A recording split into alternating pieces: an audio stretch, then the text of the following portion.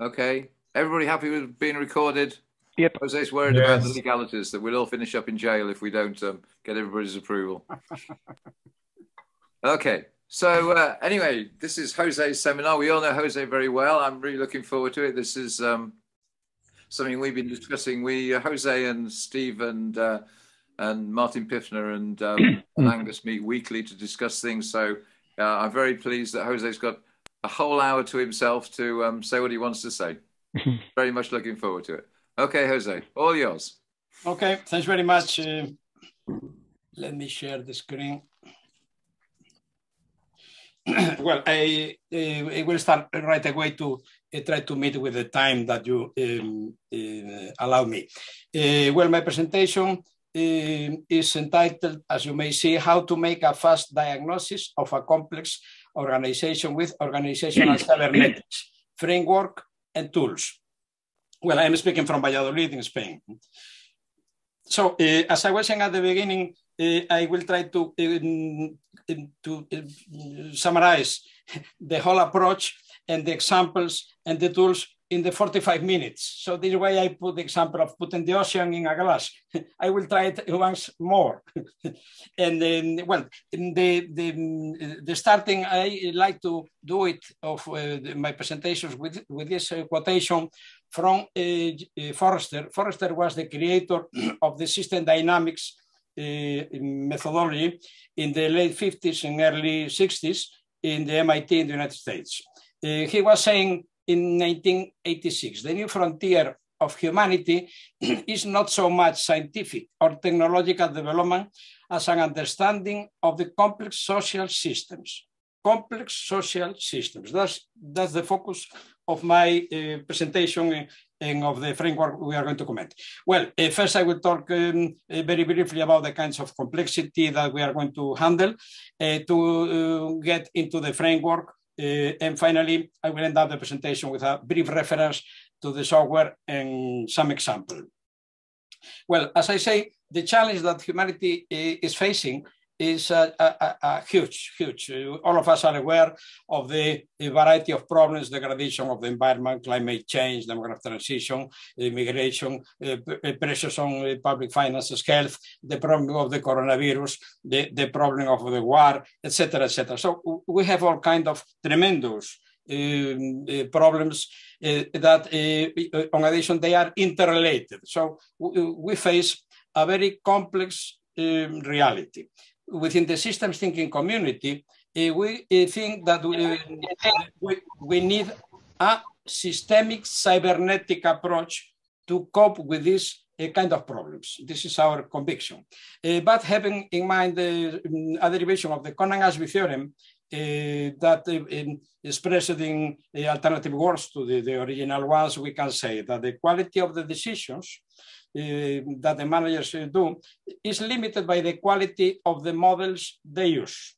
And here is where we uh, think that the systems thinking may help.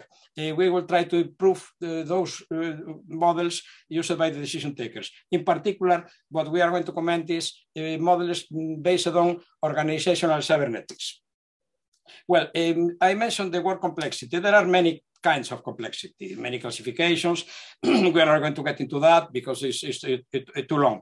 Uh, I will only concentrate in these three specific types, dynamic, structural, and group decision-making complexity. This uh, third uh, group um, is the one that is more related to uh, how human beings um, communicate and take decisions, in particular in groups.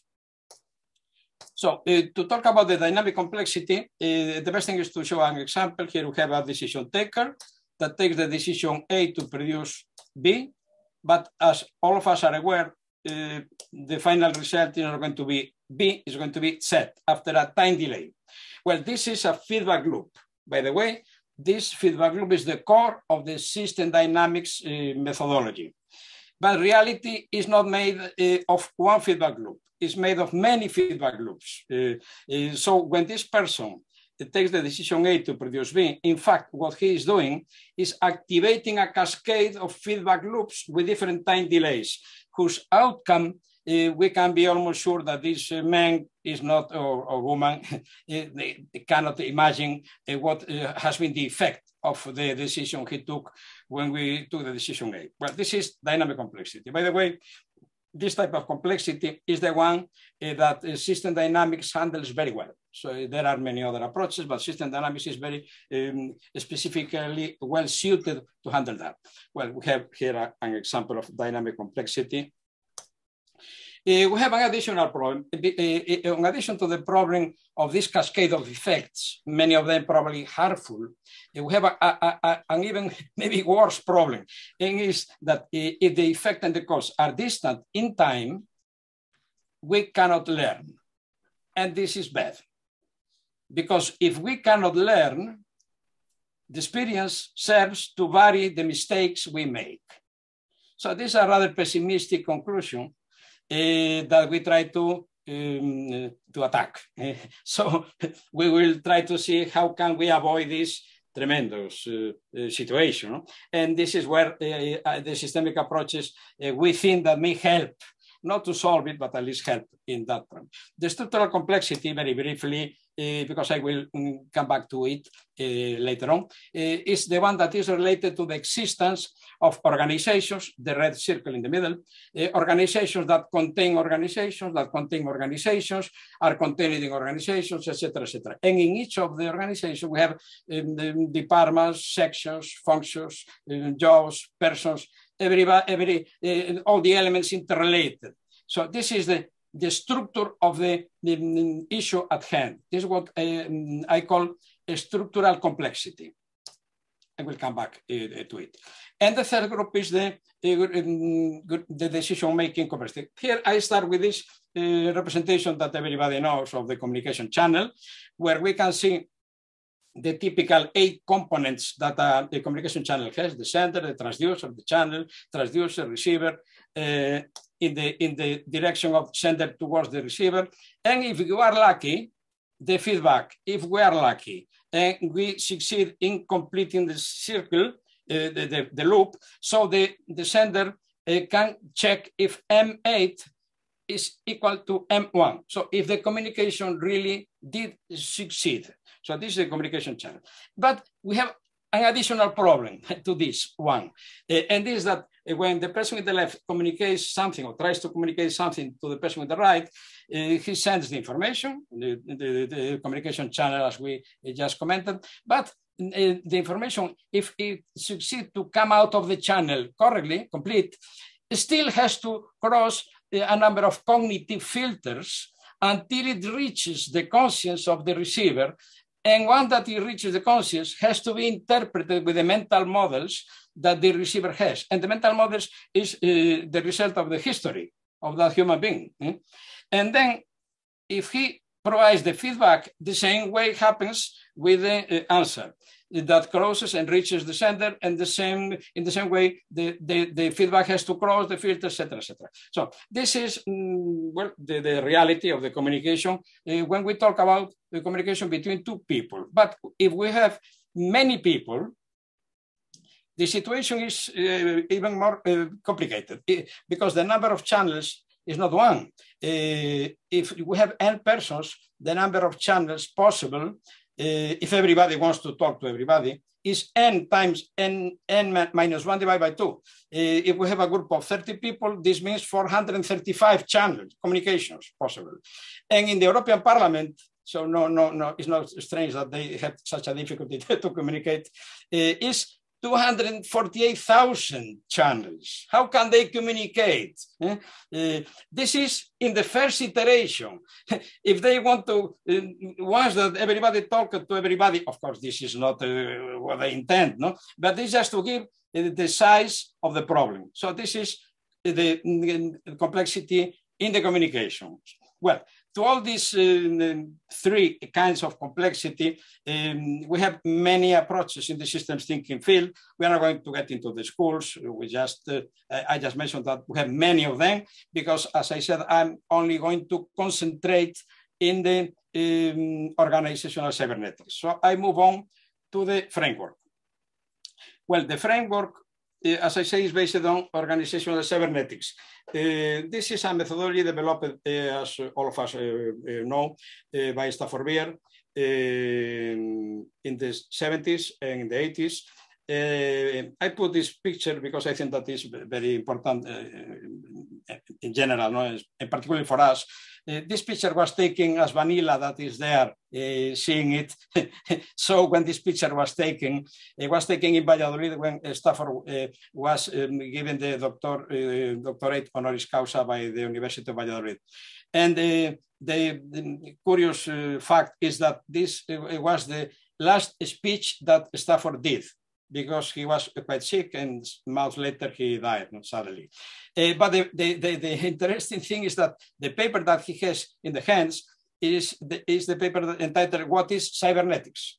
Uh, after this paper has been published in, in journals, etc. But this was the speech uh, at that time, the 21st of October 2001. Well, here you have a link to the full conference to anybody that wants to see the, the ceremony just go to the link and see it. Well, let's move on to the framework. I structure the, the framework for applying organizational cybernetics in these four steps. Um, I have to mention that the way the, the reason why mm, structuring this way in this sequence is because I consider that the first step is the, the most important one and I consider that we should start in general we should start by this first step that is dedicated to clarify the identity and the purpose of our organization. Uh, because if we don't have that clear, what kind of organization can we create? If we don't know what is our purpose, what are we going to design? It makes no sense. The second step is the creation of the vertical structure. I will explain in a second. That is how we divide the environment in sub-environments and the organization in sub-organizations. The third step is dedicated to checking that all the elements of the viable system model identifies as necessary uh, for the organization to be viable and meet the purposes. And the fourth step is dedicated to checking the degree of coupling at all recursion levels. Let's see briefly the content of them. Uh, first step, as I say, uh, identify the identity, what the organization is and what is not. And also what is the purpose, having in mind that different observers may assign different purposes to the same organization. So the thing starts to get a little Uh, complicated. Once we clarify what is and what is not, we can set the boundaries of the organization. That means what belongs to the organization and what, what belongs to the environment. And in relation to the environment, we have to differentiate the present environment from the future environment. Uh, and in the environment, we have to identify the information sources, the sensors, the cadence for capturing information, the communication channels, and where the information that comes from the environment is going to be located, how, to whom, uh, inside the organization. This is something that has to be done in the first step. We are not talking yet about the, the viable system model or anything like that, just talking about the identity and the purposes.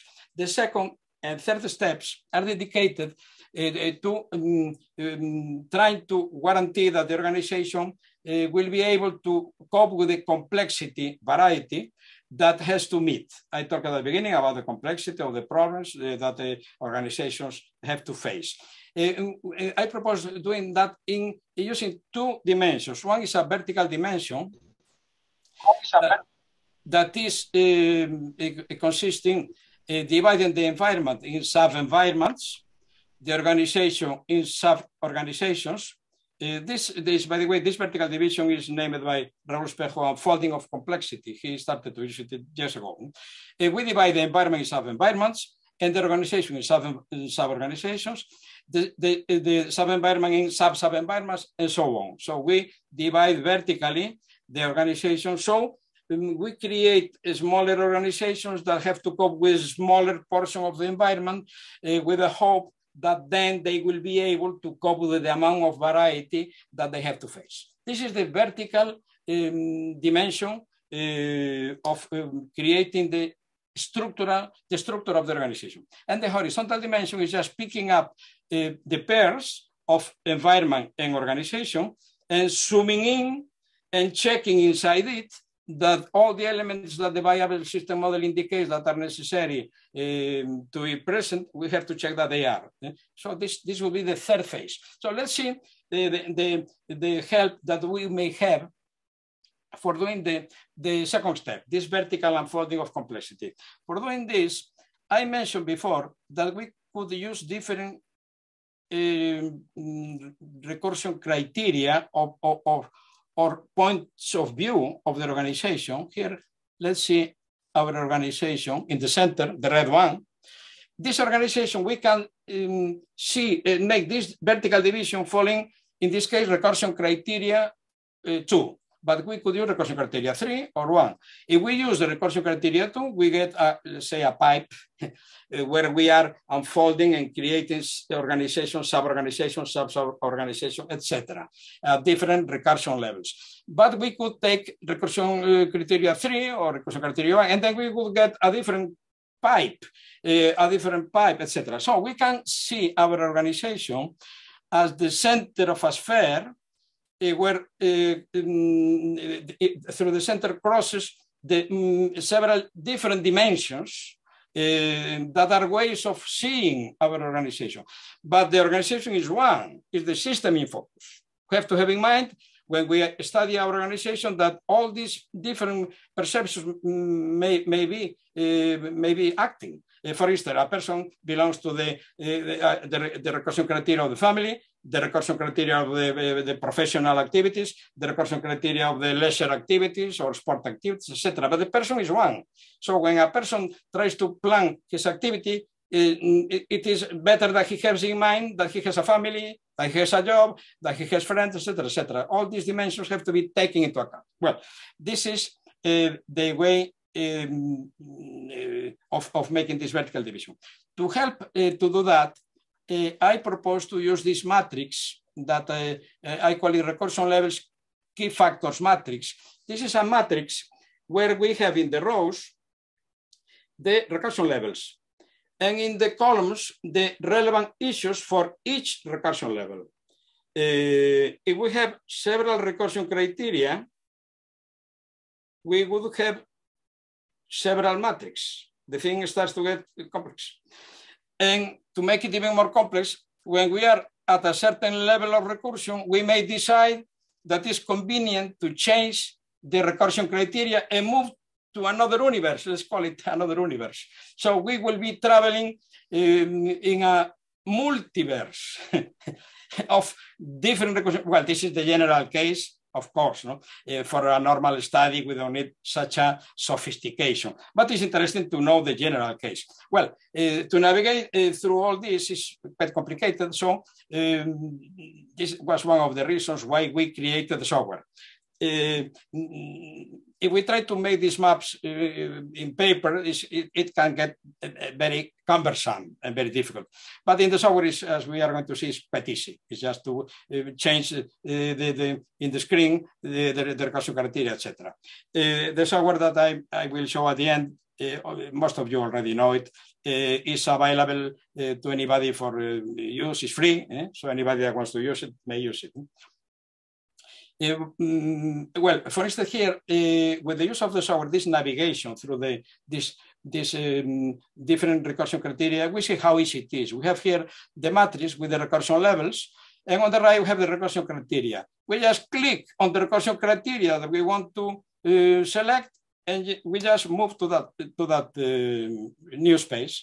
Uh, here we have the same image with in three dimensions. We have the uh, four recursion levels, two recursion criteria in the top, and we could change at, the, at any uh, position in the screen. So it's immediate. So with a computer, it's quite easy. Well, the third step is dedicated to um, checking for this pair organization environment that the organization has all the necessary components that the best viable system model indicates. Here we have the model, on the right, uh, on the bottom right. here the three main components, the environment, the operations, and the management. Well, here, what we have to check is first, that in any organization that I created, mm, all the elements first exist. Second, that they have the capacity to carry out its function. And third, that they do it. so the three things we have to check. Because we may have it, but they don't act. No? So they, and, and then we have to do it for all. Well, here I just will uh, remind uh, for the case that uh, somebody that is not familiar with here we have the biosystem model with with the system one with the system two the system three system four and system five uh, just remember system one does what is uh, supposed to do. The organization, the system two harmonizing the interactions between the operational units. In this example, three operational units, one, one, two, three. The system three star is the auditing channel. The system three is the one that handles the operative management, the here and now. The system four outside and future associated normally to strategic management. And the system five is the one that defines the identity and the purpose is normally associated to normative management. Well, these are the typical uh, five functions that everybody knows. Uh, so we can go and move on to the fourth step. The fourth step is to check that all these recursion levels that we have uh, created are coherent. So the identity defined at, at, at, level zero for system five is coherent with the identity as it has to be present in the next level of recursion, in the next level of recursion, in, in all the levels of recursion. So the, the identities and the purposes have to be consistent through all the recursion levels. The same happens, well, here, for example, the recursion um, levels key factors matrix may help a lot uh, to check that because we have the whole uh, map of the whole structure where we can check that the purposes are here we, see an example that I will comment at the end. We have uh, five recursion levels and um, the different purposes that appear at each recursion level, but all of the purposes have to be consistent. Uh, uh, at, at, at, the level single buildings have to be consistent uh, with the level zero at the, at the starting of the, uh, the division. So this is the, the use, mm, the power, I think, of the matrix, because in just an image, we can check that all the structure of the whole organization, no matter how complex it is, we can check that this is, more or less consistent. Well, eh, the same um, checking we have to do with the system force um, and all the systems at all recursion levels. Well, um, I just explained the framework very fast due to the time restrictions. Uh, so anybody that is interested uh, can go to the books. Uh, the first one written on the 208 is in Spanish, and the, the in English the English version updated is the 2012. there it is explained, this framework with a lot of detail, so anybody interested can go there and, and, and have a look to it. So the next aspect that I would like to comment and share with you is the, the, the, the use of the pathology, because as I say in the title, of the presentation, the idea is a framework to make a fast diagnosis, fast, having in mind the complexity of what we are um, dealing with, uh, fast is, is, is, rather ambitious. But we, have, we may have some tools that may help us to get closer to doing it fast.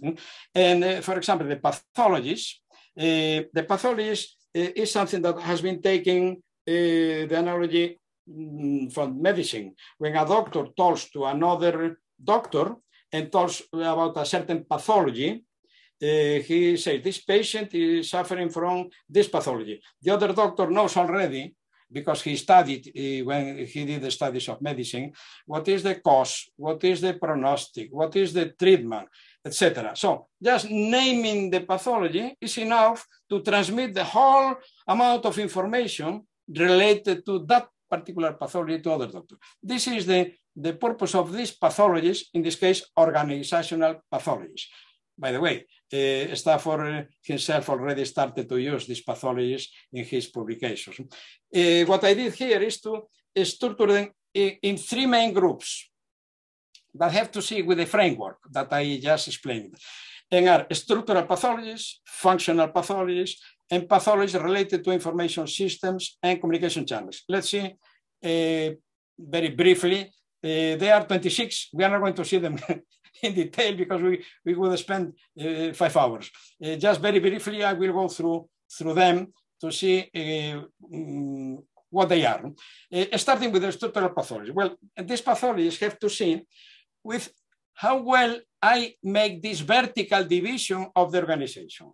The environment is of environment, the organization is of organization, etc. How well I do that, and if I do it correctly and completely, as required by the amount of variety, complexity, that uh, I am facing, relevant variety eh, for my organization. Well, the first pathology is non-existence of vertical unfolding. Well, this means that the, the organization, a single organization, pretends to handle the whole variety of the whole environment. This may work if the organization is very small, could be okay. But if the organization is, is not small, this is impossible because the amount of variety will, will be uh, um, excessive for a single organization. Uh, so this is a, a, a pathology uh, of not dividing. The second pathology is we have divided, we have created recursion levels, but we miss the, the first level. Uh, this is very curious because there are cases, for example, the universal justice. There, are, there is variety in the environment that nobody handles. Uh, for instance, the universal justice does not exist.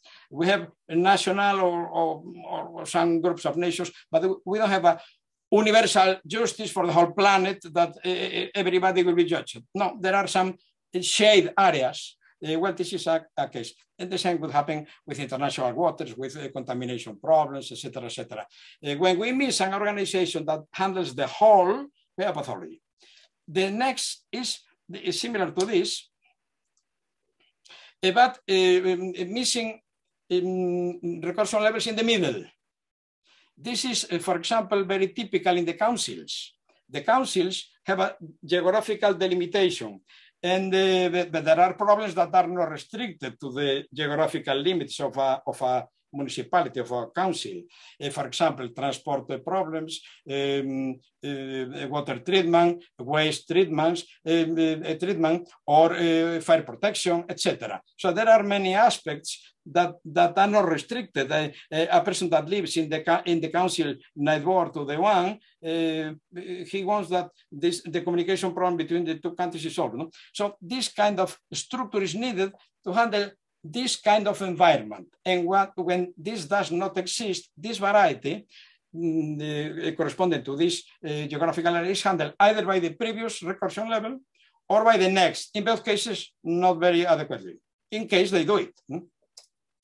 Well, the final one has to see with these um, uh, recursion criteria that are in conflict when we make the division. The functional pathologies um, are related to the viable system model, to all the systems. We have pathologies everywhere in the system five, in the four, in the three, in the three star, in the system two, in the system one, in the whole organization. Of course, we're going to go through all of them. I will just present the images uh, that give us a, a, an idea of what they uh, what they are about. You know?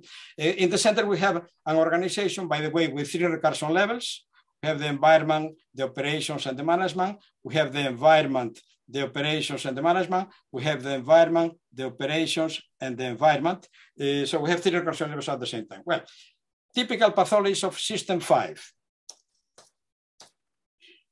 First, ill-defined identity. I don't know who I am, then you have a problem. I don't know what is my purpose. Well, it seems that you have a problem. The other uh, pathology, institutional schizophrenia. Um, we have two souls. We are this. No, no, we are this other. We should do this. No, we should do this other. Uh, for example, a university, um, I want mm, to design my university for uh, getting a generalist university. No, no, I want a specialized university. Well, we rather clarify which one, because um, unless we clarify that, we cannot design anything. This is why I insist that we have to start by system five and then design whatever hangs from that.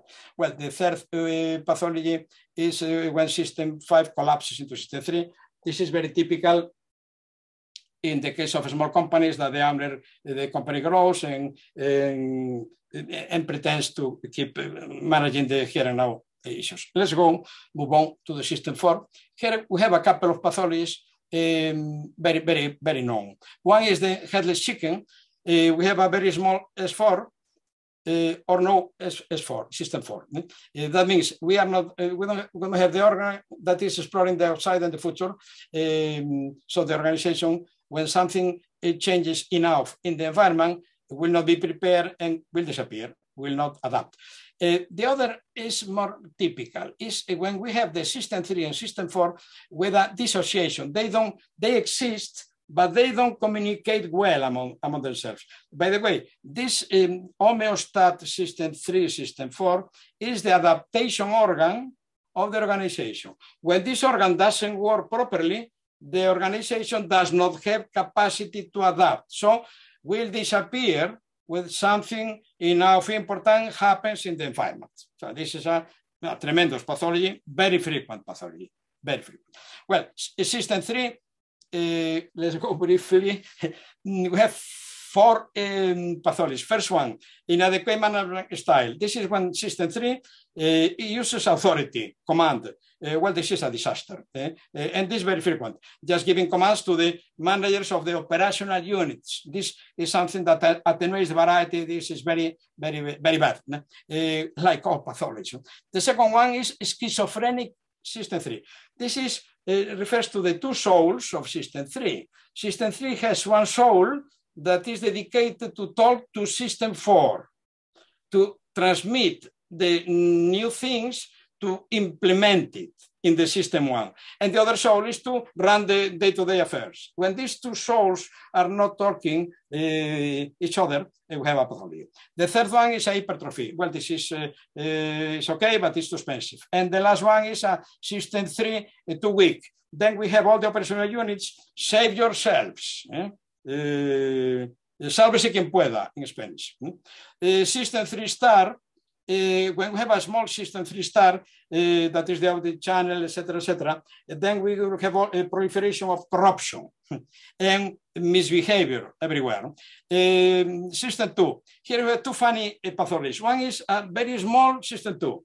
Uh, no harmonizing the interactions between the person, then is the chaos uh, save yourselves, each one for his walls, and no matter what happens with the rest and with the whole. No?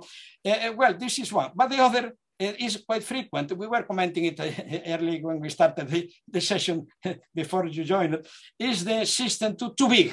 Uh, the authoritarian system two. This is very, uh, very curious because um, it is when the arrow that goes from the operations toward the left to serve the environment to provide the services and the goods, the arrow is inverted and goes to the right.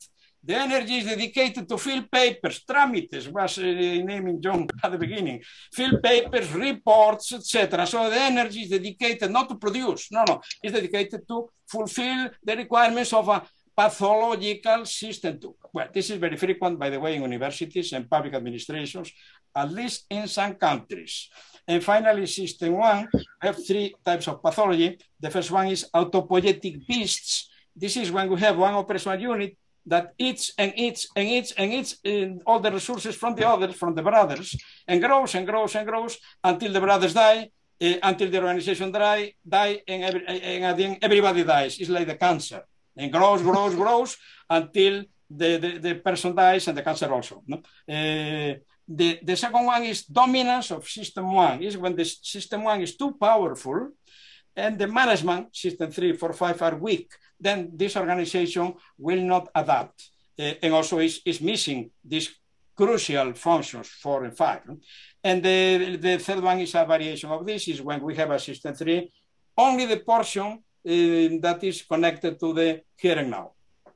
Well, uh, just to end up the, the pathologies, the last group is the pathology related to information systems and communication channels. Here we have our map uh, with, uh, with the three recursion levels. Uh, the, the, thing I have to mention is that the lines are not drawings, are communication channels. Each communication, each red, each colorful line has to have the eight components that I mentioned at the beginning. Sender, transducer, channel, transducer, receiver, transducer, channel, transducer, receiver. Eight components in each uh, communication channel. This is one communication channel. These are communication channels. These are communication channels. These are communication channels connecting recursion levels. these are communication channels connecting, connecting recursion levels. This image is the image of the nervous system of the organization. It contains all the information systems with all the communication channels that our organization has to have. So the pathologies that are related to the nervous system, the um, information system, are the ones that are included in this group. Let's see briefly uh, the most uh, relevant ones. First of all, uh, lack of information systems. Well, this is obvious. If we miss information systems uh, crucial, uh, those functions can't operate. The, the second one is, is more frequent. That is fragmentation of information systems. We have many uh, information systems that we have in purchase in software for customer um, relations, for production control, for uh, human resources control, for finance, etc., etc. But they are not integrated, not related. They don't uh, constitute a, an organic system of information. They are aisles of information. This is very, very frequent because the organizations, when they grow, they start to purchase software. Yeah? There are some, some integrated package, packages as SAP, etc. No? But uh, the, many companies do not have such a sophisticated uh, kind of um, systems. The um, third pathology is lack of communication channels. Well, uh, when uh, two functions do not have the communication channels that transmit the information needed, they cannot operate. The other one is lack of or insufficient algedonic channels. I separate the algedonic channels that the normal channels because they have a very specific mission. The algedonic channels are channels that go from the operations straight, if the problem is not solved before, straight up to the system five, where we have this red dot in the system five. Um, asking the, for the intervention of system five because something very severe that is putting in danger the existence of the organization is happening. This is, this is why it's so critical. The organizations that don't have these channels, they will die and will be a surprise for them. Oh, we are dead. Will be a surprise eh, the day it comes because they have not signals, no? algedonic uh, signals. Uh, and the last one is communication channels, uh, which are either incomplete or um, they don't have, have they have the eight components, but not with enough capacity to um, to allow the amount of um, variety that has to go through all of them. Uh, this is uh, tremendous because we have hundreds of uh, channels or thousands of channels. And in each of them, we have to check that we have the eight components and, the, and, the, and each component has the capacity, etc., etc. So this is why they are frequent, no? very frequent also. Well, and this is what I wanted to say about the pathologies. Just uh, to end up uh, this uh, application of the framework and this uh, uh, path pathologies uh, taxonomy, I will just provide two examples to see the power of the framework and the power of the pathologies. Uh, I will uh, show one example in a private company, and the other example is very funny because the European Union. so we will see first the private company. This is a real case uh, of a company that asked, uh, asked me uh, to make a diagnosis. This is an international company, by the way, it's a German company that is located near Madrid. And in this case, the system in focus is seven um, pro, product lines or operational units. here we have um, in the left, we have an image that will, will, will, will show that show us the normal size, let's call it like that, of the functions.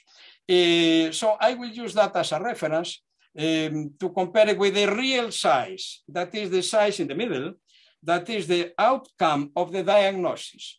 Um, by the way, the diagnosis is made uh, um, using a set of questions, in fact, more than 250 questions that are grouped for each of the functions for system one, system three, system four, etc.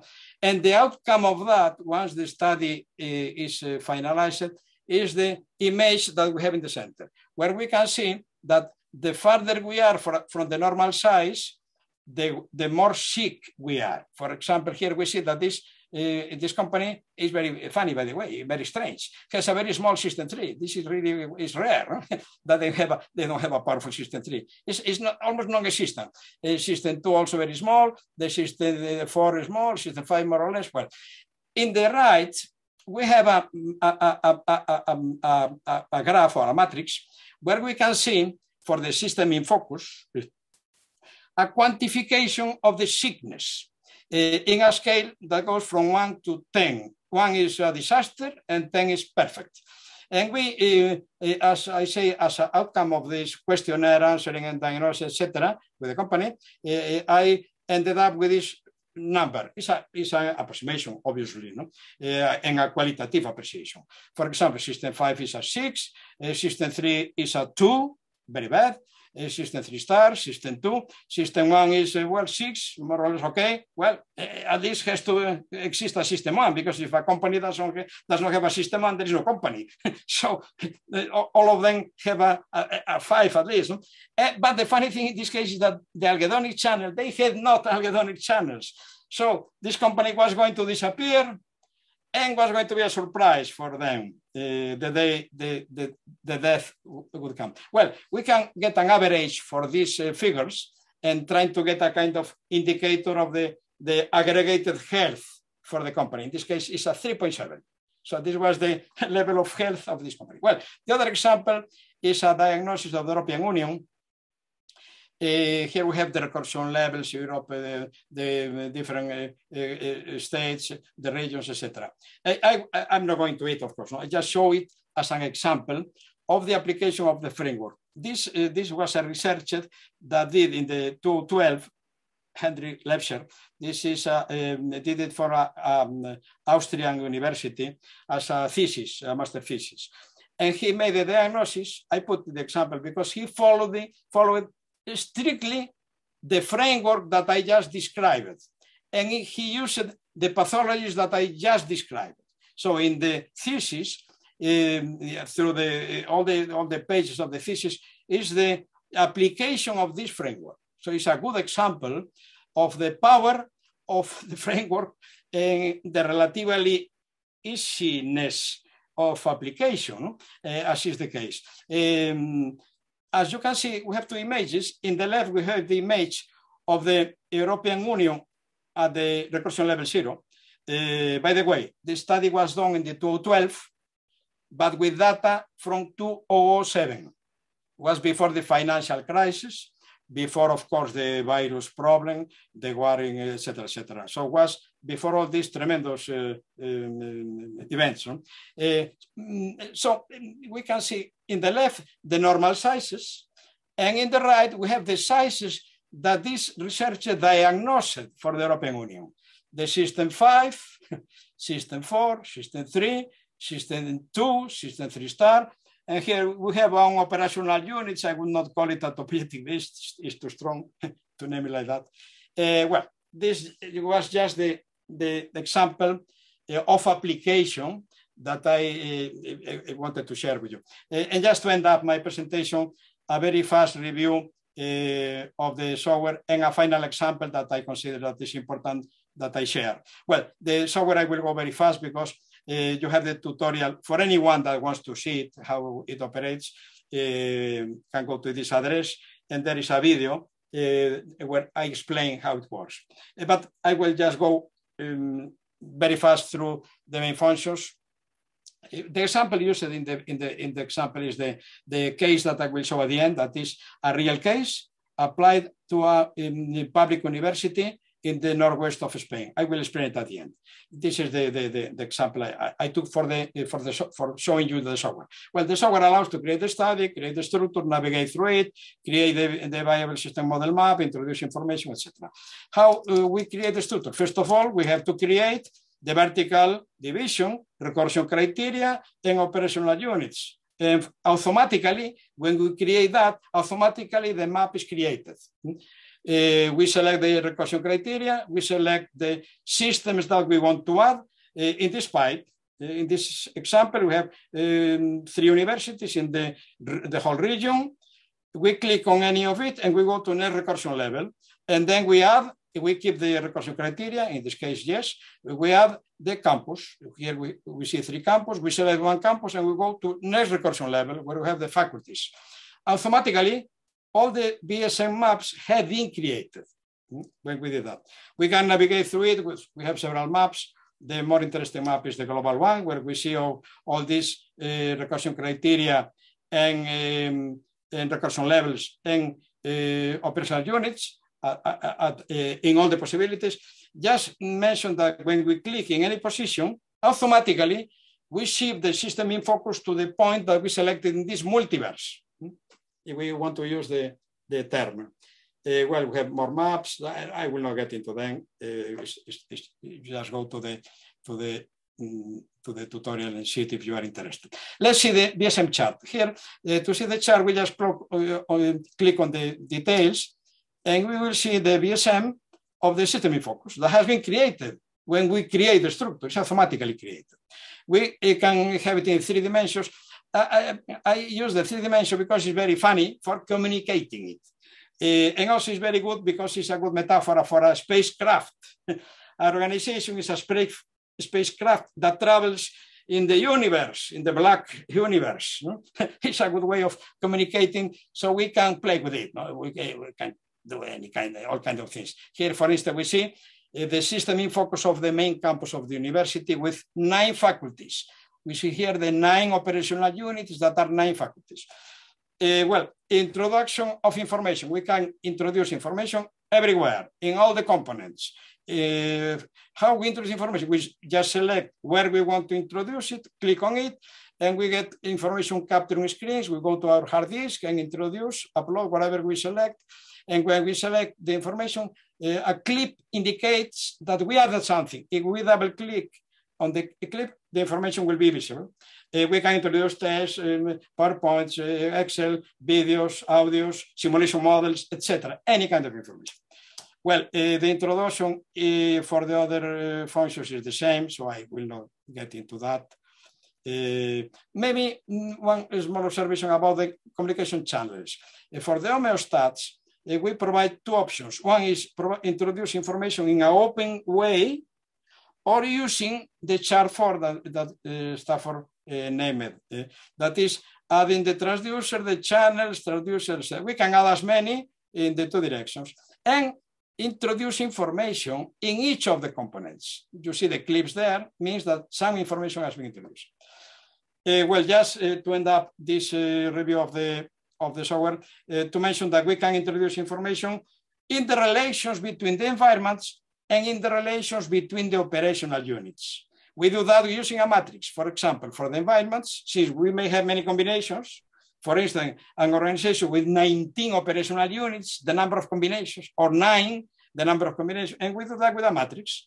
We have all the possible combinations, and we just select the cell where we want to introduce something, and we double click and open and introduce whatever we want. And the same with the relation with the operational units. And the last feature relevant is the redrawing of the system ones. This is very important for communicating purposes. For example, we have here the nine faculties. We want to select parameters to talk about uh, how the different faculties compare uh, each other. For example, the number of students, number of professors, number of papers published, uh, the budget, the um, square meters, whatever. No? We just select the parameter, adding in the parameters that are pertinent. We provide the numbers to them, and we select the, the parameter, and automatically we can visualize the system in focus with the sizes proportional to the parameter that we did selected. We see, for instance, we have a faculty here, and we can make zoom in, eh? And see that economics has 3,000 students, architecture 2,000, sociology 300, etc. We can do that with all the parameters, with the students, with the budget, with the papers published, with the number of professors, and put the images together. So for communicating purposes, I think that is a very powerful tool uh, to transmit information. Well, and finally, and with that I end up with the software, we can combine it with system dynamics models, for example. Uh, by the way, I recommend to anyone interested in going to the paper where we explain why we consider that it's convenient to combine it and how to do it. Uh, the way to do it is just as easy as uh, clicking there, as, as I explained, go to the system for, for instance, go to the system dynamics model that I previously have created with the software pertinent. In this case was uh, created with iThink. Uh, select the model, upload it. Uh, we can play with the model, uh, use it, modify it, save it, close it, and will be closed and save it inside our viable system model. Will be a part of our organism is embedded in system five. Well, that was all for the software. And just to end up uh, with the ocean, John, and the glass, the, the last portion of water from the ocean, and I will end up is the, the final example that I think that is very important to share with, uh, with uh, many of you that don't know it. This is an intervention that lasted eight years. And I mention it because it was, it was very important and very lucky because it was an intervention in the University of A Coruña in the northwest of Spain uh, because the vice president of the university during eight years uh, is an architect, urban planner, and had the power and the money. And he was uh, very interested in organizational cybernetics. This is a miracle. It's a really a miracle. Eh? Eight years. And during these eight years, what has been done with organizational cybernetics? I will go, very, by the way, uh, the intervention is documented in several books. Here you have to, to um, uh, screen caps of the books where uh, is documented this, this, this work with much detail. Here I will just give you some, some very short reference. Here we have Galicia in the northwest of Spain. Here we have the three universities of Galicia. We are interested in A Coruña. The Coruña is a university with 24,000 students, 1,500 teachers, 25 buildings, 60 degrees. Today is even more because this was at the time of the study and is located in two main cities, Coruña Ferrol. So uh, how was the uh, approach used? The same way I explained. First step, um, identity, purpose, and um, vertical division. Um, what is the environment where the organization uh, has the activity and, and, the relevance? The geographical environment is that the 60 kilometers diameter that covers a region with 650,000 people. And here are the two cities where the university has campuses. Well, this was the area where this university has influence. Um, in the narrow sense, because it, it, it, has influence more. Well, here we see the main campus in A Coruña. Here we see where it's located. Second step, um, the creation of the vertical structure, five recursion levels. And for each recursion level, purpose, specific environment, key factors, etc., and using the matrix that I mentioned before. The, the five levels are the whole Galicia, the urban region, 60 kilometers, the cities, the campus, and the buildings. Here we can see, for example, the purpose, how the purpose has been instantiated at each recursion level. Here we have recursion level zero, the whole Galicia, the specific purpose at that level. Uh, in the recursion level one, urban region, what is the, the purpose in, in the, the relevant issues? At this level, etc. Yeah? So this, in one map, you have the whole area of intervention of the vice president, and also you have a map to communicate to other colleagues. Well, uh, the last column are the actions that have been designed. They are numbered with the colors of rank 9 or rank 16, etc. Uh, we are going to see just two or three of them.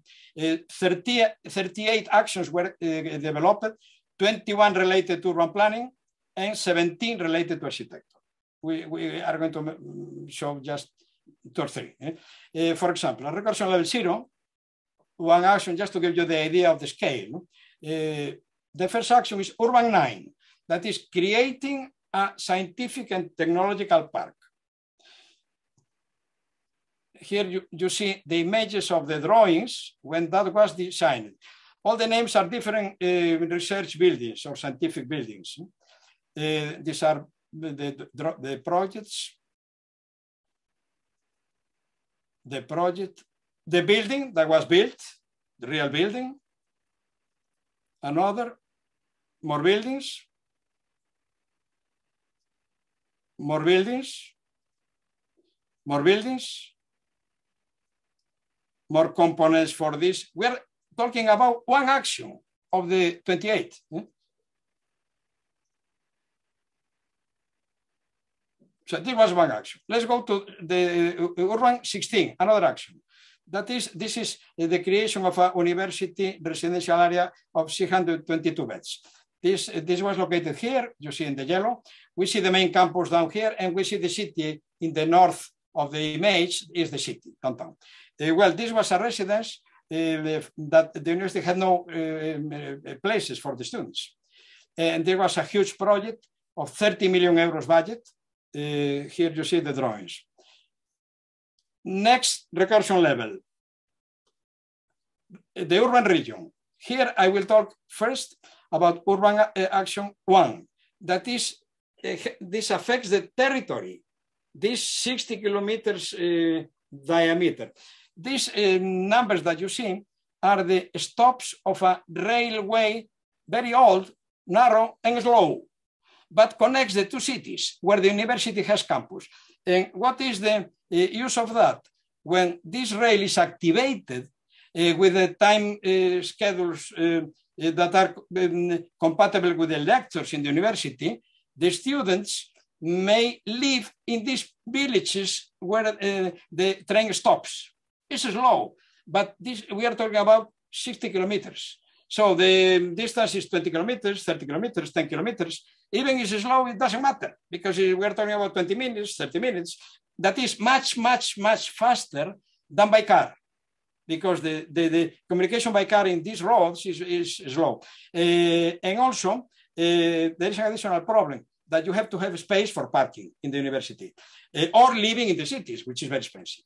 So this had a very important social impact because more students could go to the university because they could afford keep living at home because they could go by train. Well, this was the, uh, and the final example at this recursion level, and I'm almost uh, approaching the end, is uh, Urban Action 11.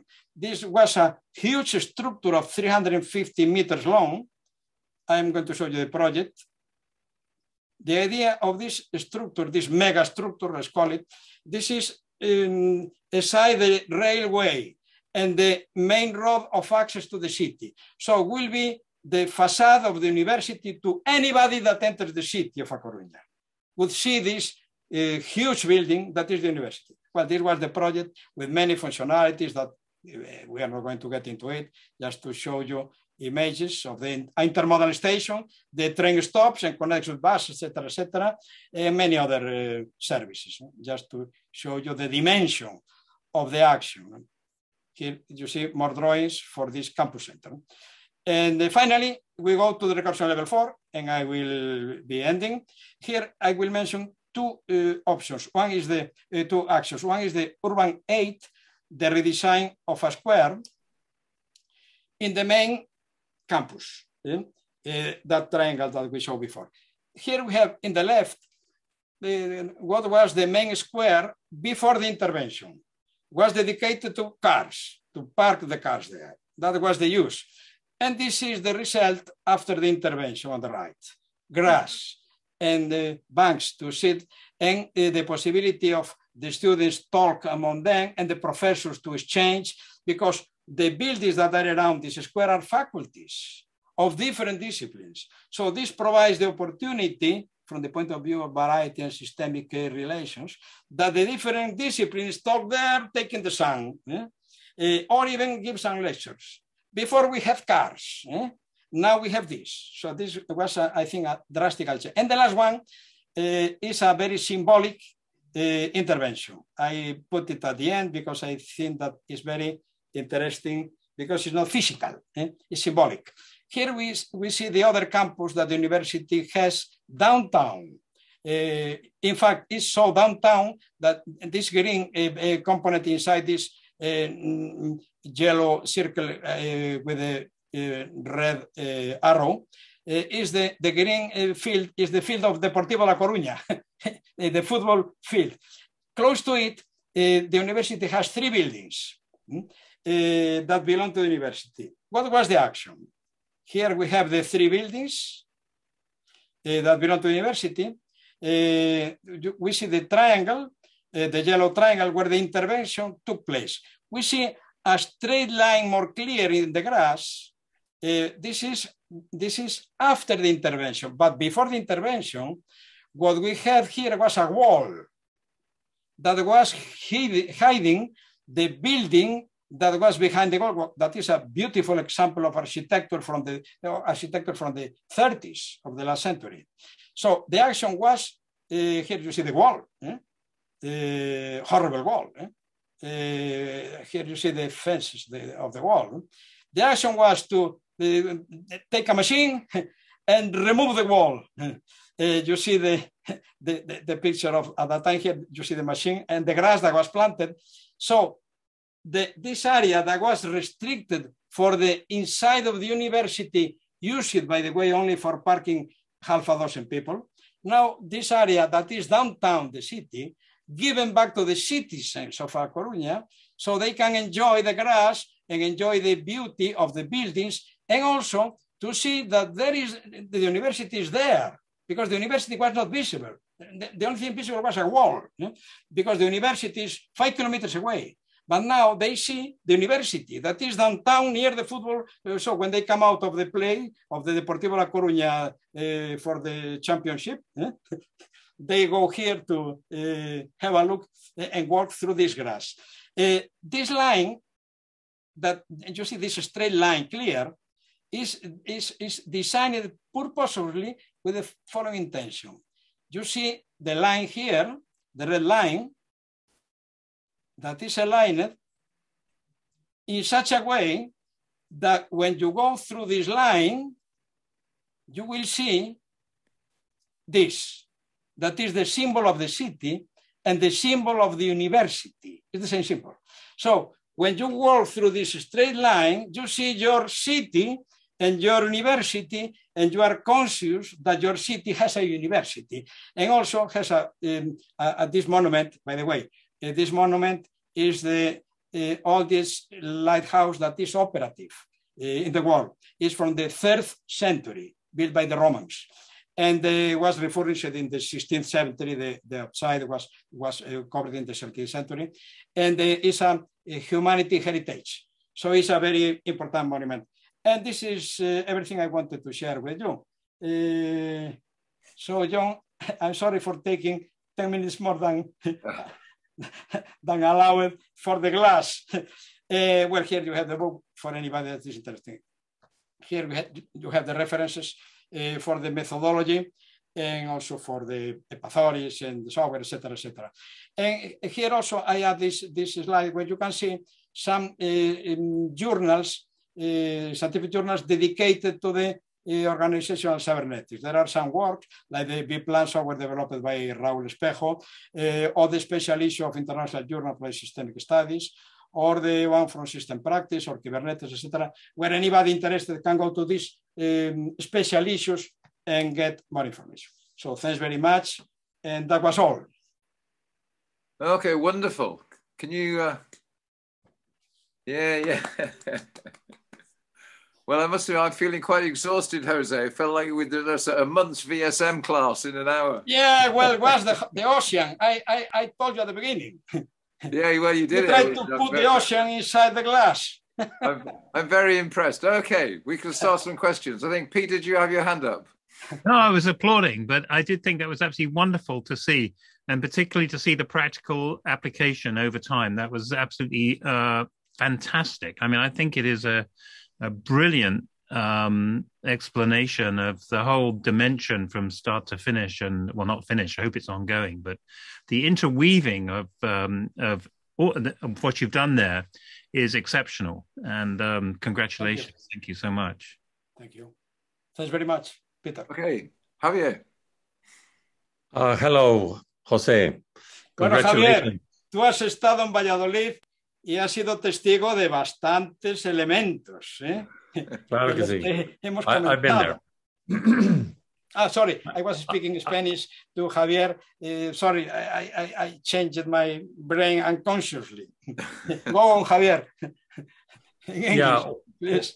Yeah, what I what I wanted to know is in some of these uh, diagnoses that you run, how much time uh, do you spend in in doing the questions to the people interviews in order to get the mapping of the of the model that they're living uh, to compare to the theoretical model?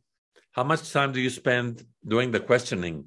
Yeah. and do you have those questions? Uh, is it do you have like a questionnaire or, or or do you improvise for every case or wh- what's going on there Yeah. Uh, You are talking about the application in the case of the company.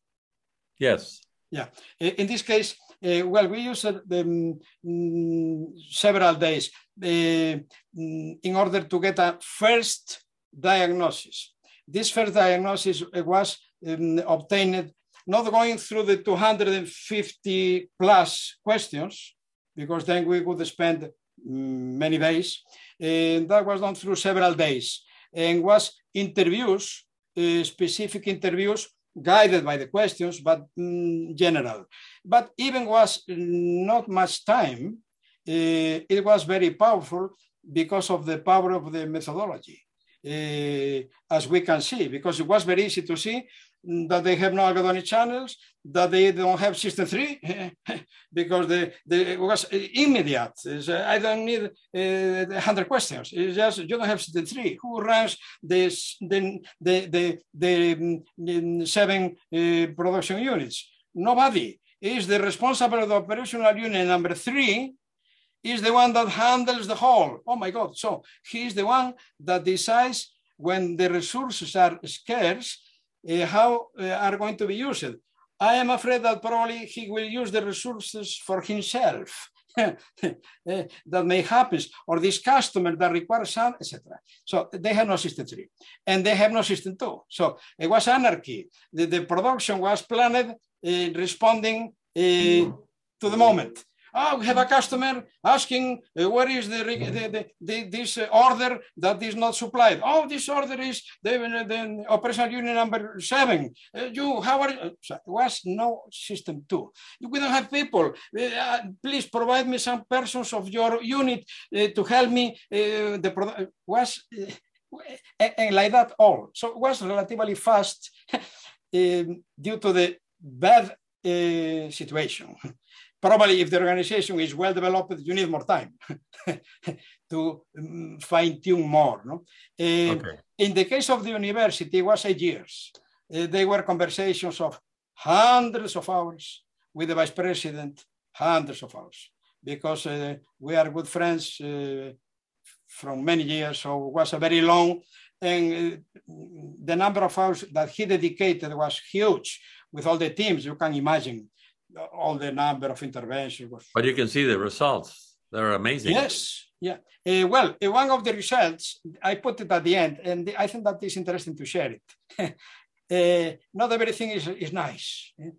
only the, the, stories end well, some of them, but not all of them end well. the final example, where I show the machine removing the wall, this was done without asking permission to the president because he knew that he was not going to get it. So he did, okay, if I ask for it, I will not do it. So I first do it and then I. Uh, Como Pancho Villa, uh, fusila uh, después de averiguas. Well, in fact, he was uh, thrown away, not because of that, because of, of he was too powerful, too active, and that was too much. So this was one of the reasons. Uh, so uh, the things uh, delicate. This is, this is why the other dimensions, uh, we have no time to, to, to, to, to talk about it, is the political dimension of the interventions. Of course, they have a tremendous importance. Uh, in this case, since we're more technical interventions, buildings, projects, there was uh, until the wall, because behind the wall, there were some people that was parking the cars there. Now they don't have place to park the car because it's grass. so they were not happy. So they, they were real good enemies eh, uh, of this intervention. it's, it's, it's, it's an example. Anyway, this was the the, the okay. the thank you. Uh, yeah. Welcome, Javier. Okay, another question.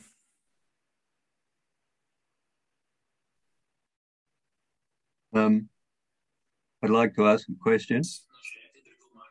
Yeah, go go ahead, Brian. So I've made a, made some notes here, um, and the question is, um, we if we are in a big crisis, and you know the one I'm concerned about is climate change. We have only eight and two thirds years to halve emissions before crossing a threshold where the situation becomes irreversible. That's the situation that the climate scientists say we're in. That's climate change. And Jose mentioned that as one of his crises. Yeah. And the other crises, crisis I'd like to keep in mind is World War II.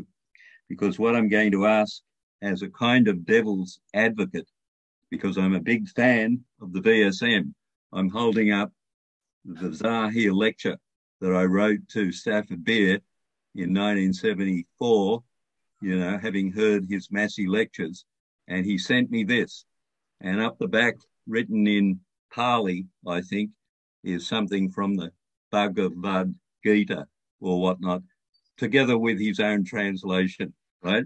So I've been a fan since 1974, and I'm very concerned about climate change. So I'm now going to pose a question as a kind of devil's advocate, right? So I'm conflicted. Yeah. I'm a fan of the VSM. I think if we need an organization to deal with climate change, then the VSM is it, right? So that's that's one hand of it.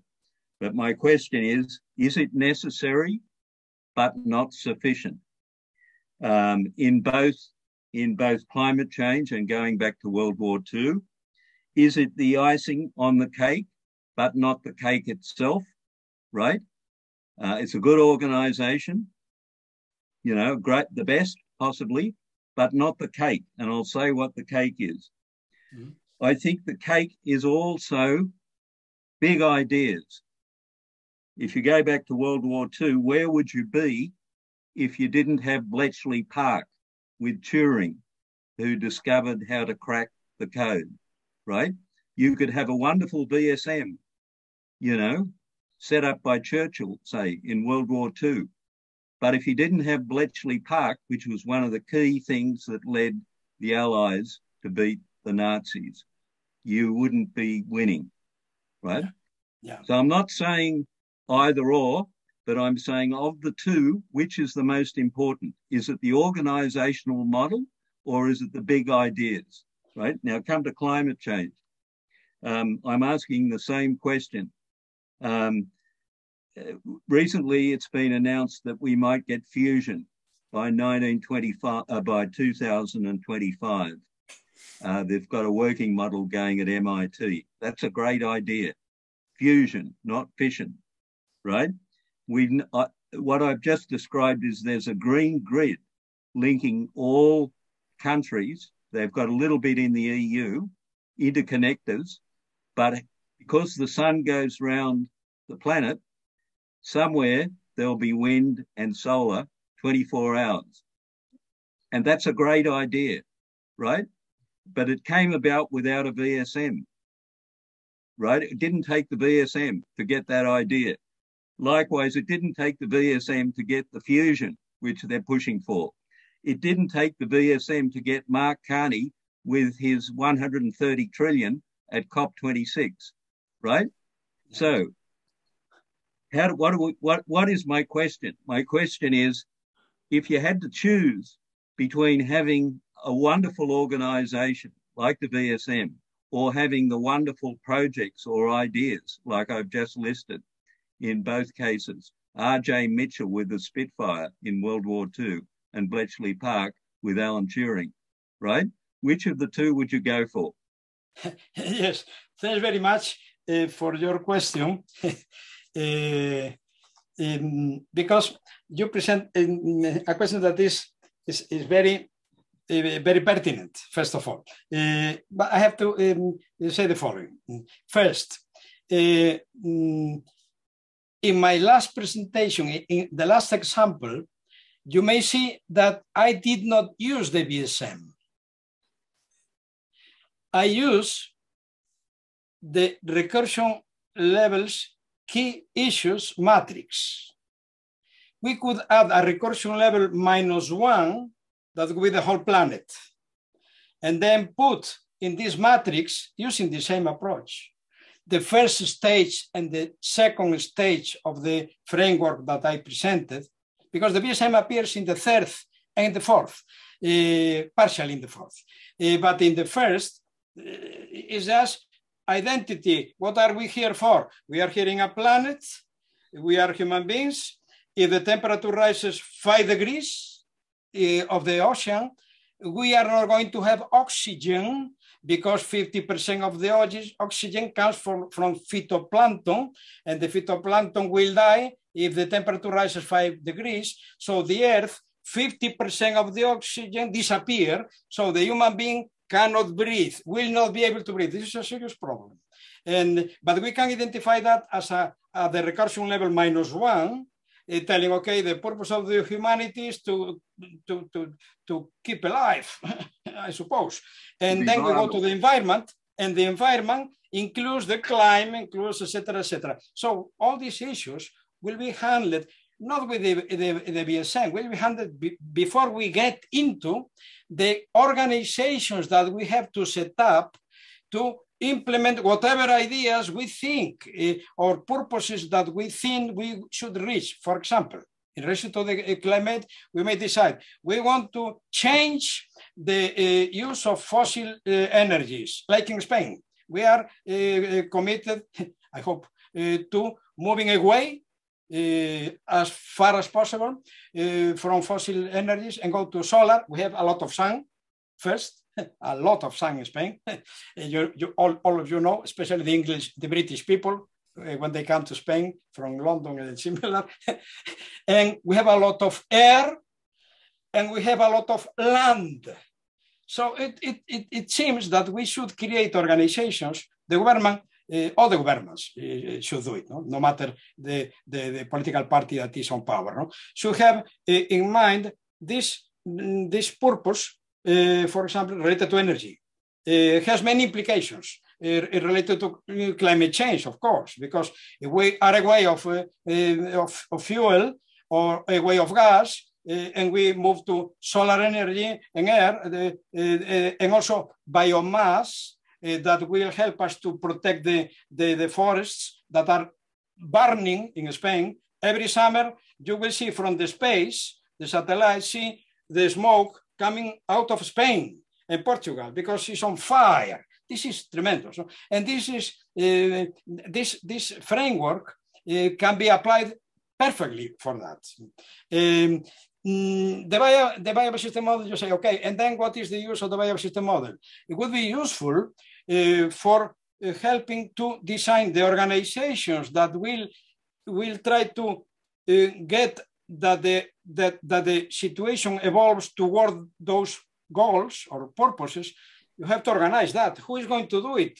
And, and uh, what is the time schedule? Uh, what are the, the, the, the elements, etc., uh, etc. Et all the, all the um, operative aspects. Then is when it may be useful. Uh, this is one side. Uh, another aspect to answer your question forgetting the, the VSM and forgetting the recursion levels, uh, key factors matrix, etc., there is another aspect. And I mentioned in the first slide, systems thinking and organizational cybernetics. Organizational cybernetics isn't the, is not the whole universe, it's one of them. There are lots of uh, systemic approaches uh, that are uh, focusing on different kinds of complexity. For example, uh, system dynamics, is not, uh, is not organizational cybernetics. System dynamics uh, is a methodology to help you to put in the conceptual map the variables that you consider pertinent for the issue that you are interested in handling. Dynamical relations to evaluate the impact of different decisions, different alternatives, for example, the energy, how long it will take Spain to move to solar energy to cover 30% of the demand or whatever. You need to know what is the capacity of production or of purchasing of solar plugs, photovoltaic plugs, etc. So you could build system dynamics models that help you to cope with this, this dynamic complexity. It's another methodology. So uh, I, I, eh, eh, if, if uh, my message was understood like that, I did it wrong. I don't say that the organizational cybernetics and the biosystem model is the only tool at all. I say that is one of them and very powerful because this matrix I consider it extremely useful. For instance, for helping the public authorities in the case of the, the coronavirus. Uh, we have um, the real case in Spain, well, everywhere. No? and I had the opportunity of talking with the responsible of the critical units, where the, the, the, people that is about to die was there, responsible for the whole region, and is a doctor. And I, we talked using these terms of recursion levels because we have the, the, the, the health ministry of Spain, the central government, we have the uh, autonomies, uh, like the landers in Germany or the states in, in the United States, etc., uh, with a different government. And we have the municipalities, the counties with the, the, with the mayor and the, and the team. Uh, and we have the, on the other side, we have all the subdivisions of the health, doctors, uh, hospitals, etc. All this complexity. How can they handle this complexity? Uh, what happened? They they did not handle it.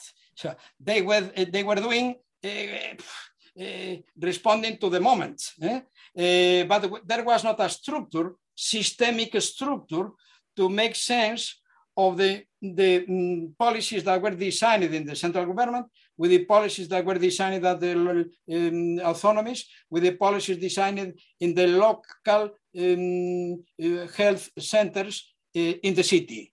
Uh, there, there, there, were not communication channels. There was one, one of the pathologies I mentioned before, did not exist, uh, etc. So the applications of the systemic approach. Then I, I move up eh, to the systemic approach, not only organizational cybernetics. Systemic approach eh, is, I would say, that is absolutely needed.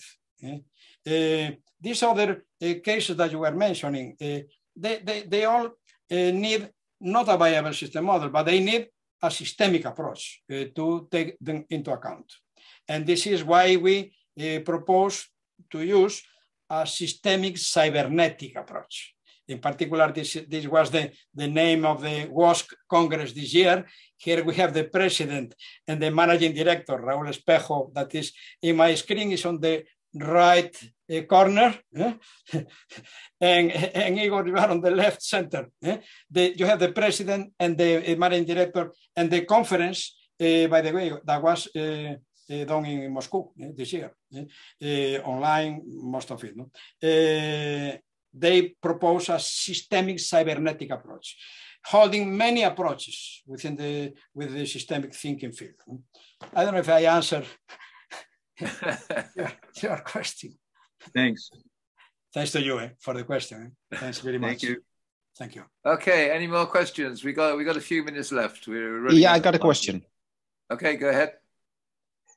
Hi, uh, Jose. Um, to keep it short, um, I have not heard that you nominate essential variables. And yeah. um, if you haven't, why not? And uh, what can you say about the use of essential variables when doing the diagnosis of an organization?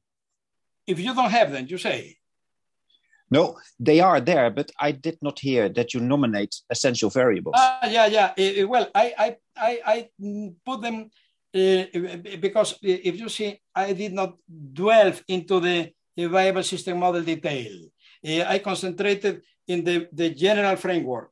The, the essential variables were somehow um, um, mentioned uh, in the recursion level critical, critical essential uh, variables matrix. We yeah. could put the, the, the name there.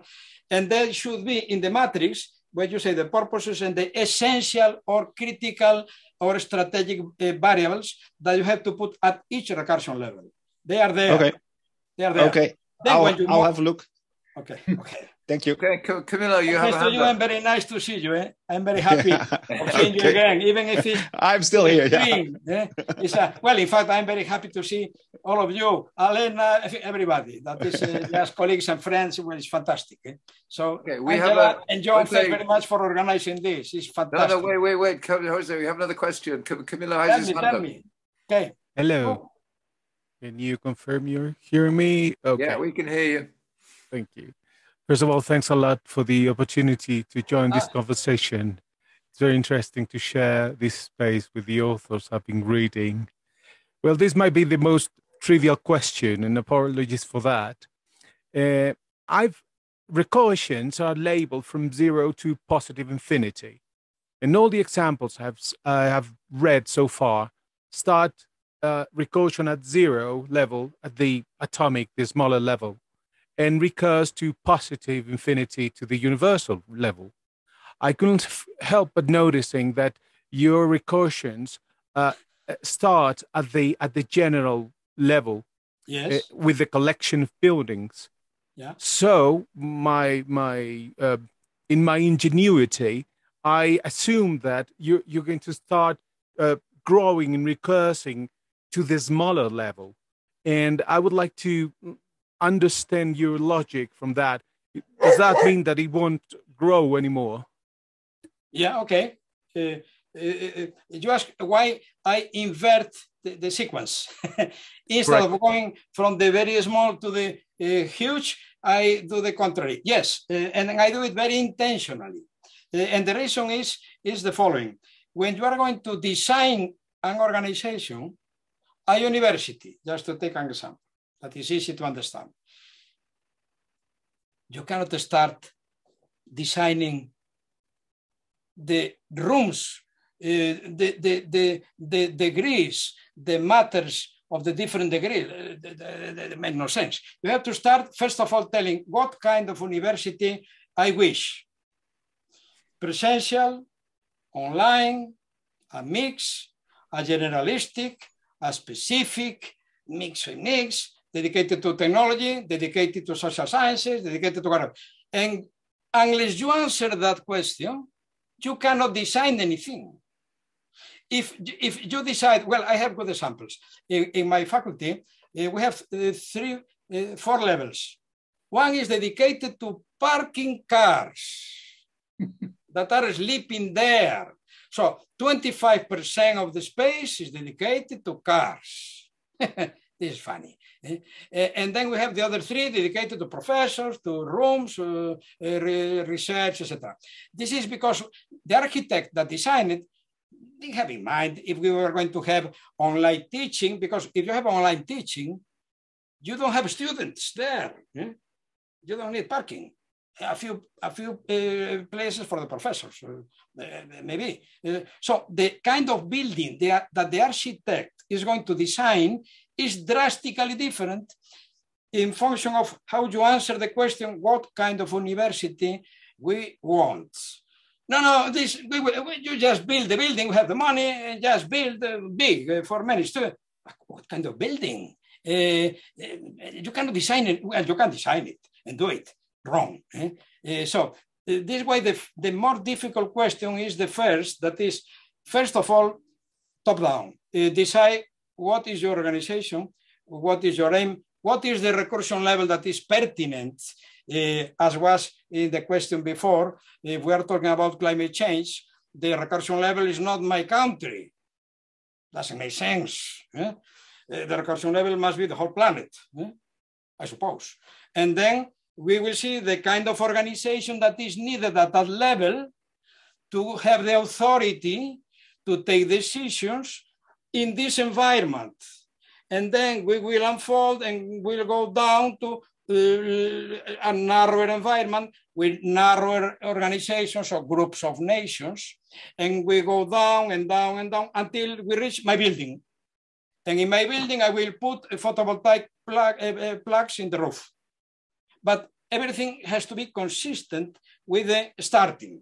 Not, well, I start putting plugs. No, no, no, no. The whole planet. That's the issue. and then we have to create the organization.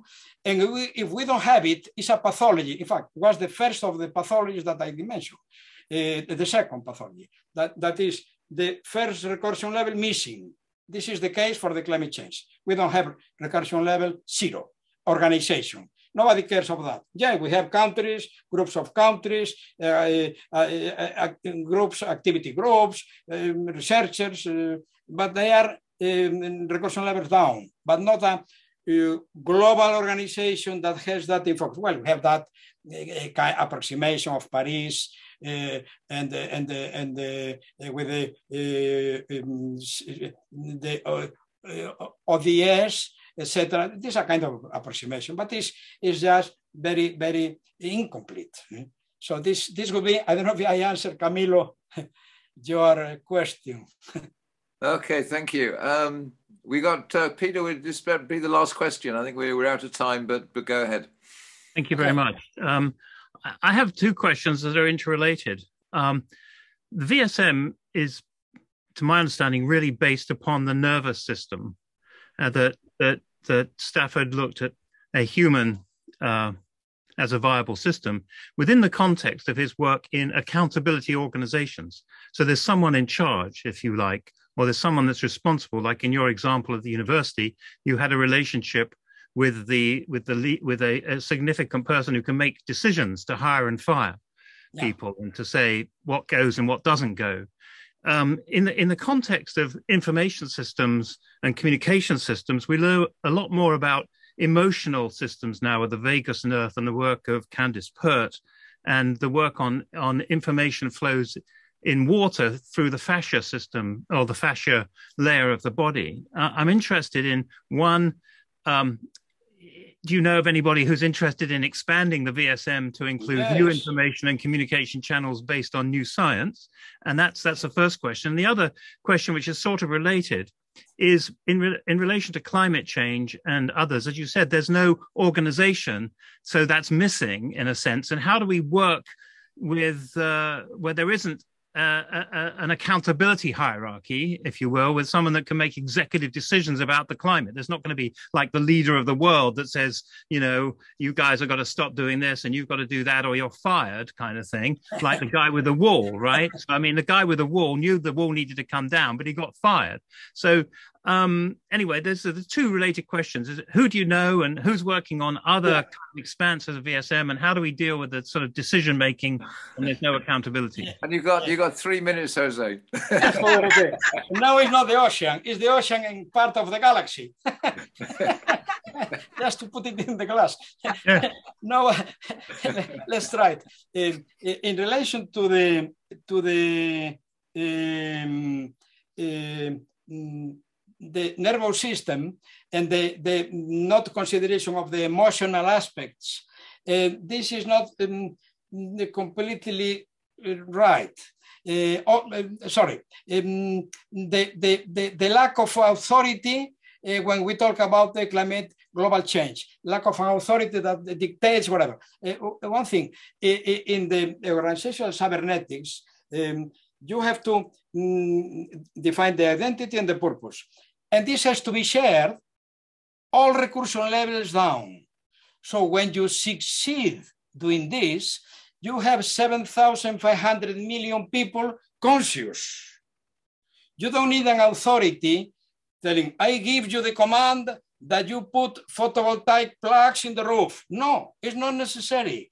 If you succeed designing the organization and getting that the identity and the purposes are embedded, transmitted and embedded in all the levels down to the individual, to the person.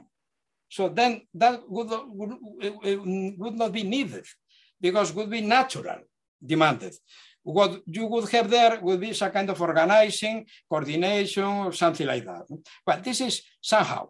Um, the other aspect in relation to the, if there is, a, group, there is a, somebody trying to expand the, the VSM, yes, there are many people working um, within the, the systems thinking community. Uh, uh, people working on um, second order cybernetics, uh, for example, Raúl Espejo with some colleagues, and, and, and further that, they call it third order. Okay, there are a lot of debate about that, uh, if that exists or not. But anyhow, just to go further up, a way of the viable system model and just more conceptual to take into account uh, the interrelation between organizations, between uh, human beings, and between non-human non entities that have, have to be taken into account. There are groups making this kind of research. And also there, there, there is another group, uh, well, in fact, Angela is uh, there, uh, Steve that was somewhere in the screen before is there, myself and Martin Pfiffner. There, there, there, are some people working on expanding a little bit that. And many others. There are, there are many directions. Uh, so the viable system model is, is good for whatever it is. In fact, just to end up my, my, my uh, reference to it, and I forgot to mention it. When I explain the viable system model to managers or to students, I put the example of the uh, cataratas. I don't know if they are called like that. Yeah. They are, yeah. When you get opaque, they crystalline. I don't know how this yeah, called. Cataract. Mm -hmm. cataracts. You say yeah. That the viable system of the seven is like removing the cataracts and putting a clear crystalline, so you start to see things that you were not seeing before. It's not the solving of the all the universe problem, but you start to see better. Eh? Uh, and also the other the other reference is the Google Maps yes. of the organizations. Yeah, yeah. You come from the whole universe. You see the planet. You yeah, see yeah. Europe. You see Spain. See Castilla. See Valladolid. You see my university. You see my faculty. You see yeah. my department see Joseph Maibele, and we always are coherent when mm -hmm. we make this uh, approximation like mm -hmm. Google Maps, eh? mm -hmm. and we just uh, zoom out where we wish. Show me the moon, show me Europe. No, no, Europe, no. Show me Spain, only Spain. No, no, show me uh, Valladolid. No, no, show me the street. No, show me the home. And the, this methodology allows us to navigate without losing track of where we come from and where we are going to. Absolutely. Well, thank you very much. Thank you very much, wonderful. Peter, for your question. Thank you. Okay. Well, that, that's uh, that, that, that's all for today. I think that was that was one of the, the best and most um, so certainly one of the, the, most energetic presentations I've seen, Jose, and uh, and really um, and, and, a great conversation at the end. So uh, so thank you very much indeed, and uh, we'll be back in two weeks with um, Roger and Jane talking about some work they've done in Manchester on systems approaches within the council, which is, uh, I think, quite quite uh, quite extraordinary. So hopefully, see you all in two weeks. Uh, okay. okay.